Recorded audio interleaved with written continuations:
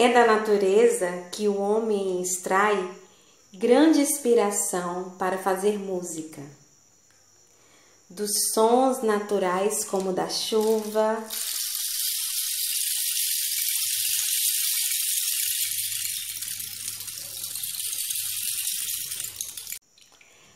das águas que correm nos rios,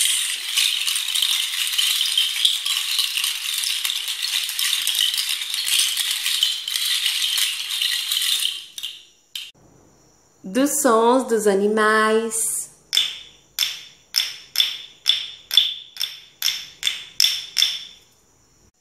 Pare para ouvir a natureza.